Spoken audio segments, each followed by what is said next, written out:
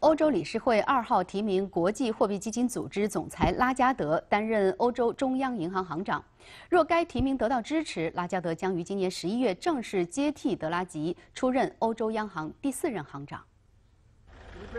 有消息称，由拉加德出任欧洲央行行长是法国总统马克龙的提议。该提议最终得到欧洲理事会认可，很大程度上被视作德法两国妥协的结果。因为欧洲理事会同时提名现任德国国防部长冯德莱恩出任下届欧盟委员会主席，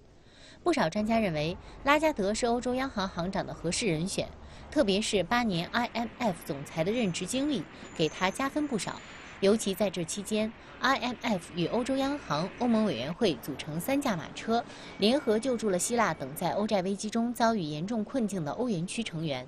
在欧盟机构五大关键领导职位中，欧洲央行行长一职专业色彩最浓，先前均由技术型官员出任。前三任行长荷兰人德伊森贝赫、法国人特里谢和意大利人德拉吉均有坚实的经济专业背景和丰富的经济金融从业经验，且无一例外的由本国央行行长转任欧洲央行行长。相比之下，拉加德稍显另类。他律师出身，2005年步入法国政坛，未曾在央行任职。但是也有观点认为，拉加德有能力平衡货币联盟中不同的国家利益和观点，同时他在政界也有足够的分量，能够应对政治攻击，维护欧洲央行的独立性。